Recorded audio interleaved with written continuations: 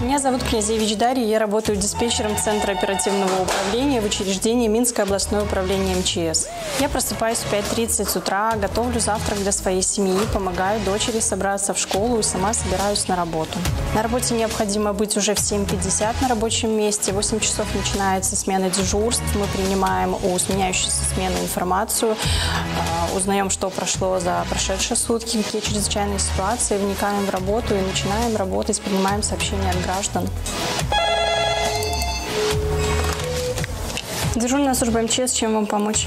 Какой адрес? Улица Мира. Хорошо, ожидайте, техника уже выехала. Я люблю свою профессию за то, что ну, она в первую очередь призвана помогать людям.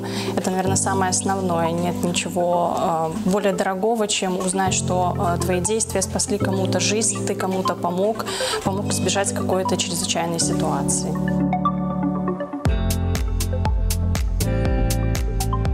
Несмотря на то, что существует стереотип, что в МЧС работают в основном мужчины, то э, должность диспетчера занимает в основном очень много девушек.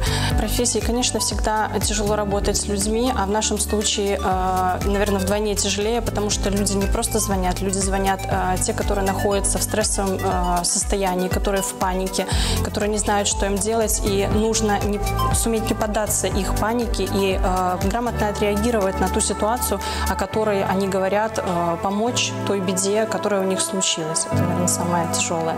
Мои коллеги это больше, наверное, чем коллеги. Наш коллектив это больше, чем коллектив. Это своего рода э, семья. Семья, которая всегда тебе придет на помощь, если у тебя что-то случится. Ну, это неудивительно, с учетом, что люди, призванные помогать окружающим, в первую очередь откликаются на просьбы товарищей своих. Диспетчер, да, это первый человек, который сталкивается с чужой проблемой. Голос диспетчера – это, это надежда. Надежда э, человеку на то, что сейчас ему окажут помощь, что он уже не один со своей проблемой.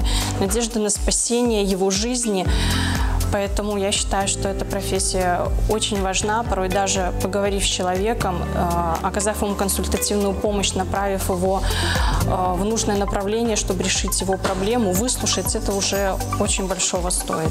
Я люблю свою работу, потому что она делает утро моей страны добрым.